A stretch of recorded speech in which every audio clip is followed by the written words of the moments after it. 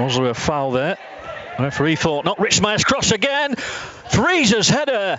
And Rafael had to acrobatically dive away to his right hand side. It's a congested Reading penalty area. Frieser's right on the goalkeeper. Playing it towards the far post, headed down. And just wide of that left hand upright. Luke Thomas and then Mowatt. Crossed by Jordan Williams. It was a chance that one for Ludewig. 15 yards out central, but Reading managed to get bodies in the way as Lucas João is fouled.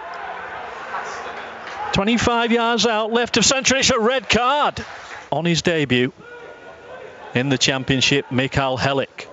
Swift's delivery. Headed towards goal by Meite.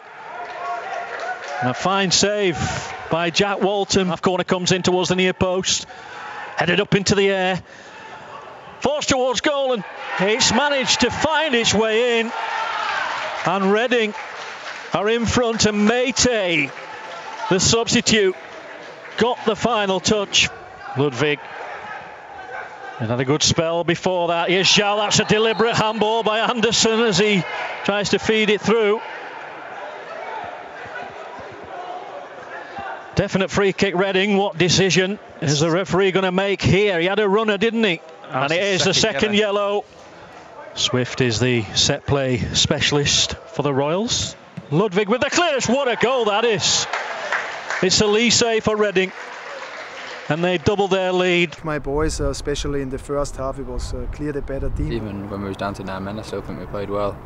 Uh, we was getting on the ball. Um, it's always going to be difficult when you got two men less and you got no one up front really. Uh, two players um, uh, more for the opponent, and uh, I think uh, that we lose the game in the end about set pieces is very disappointed.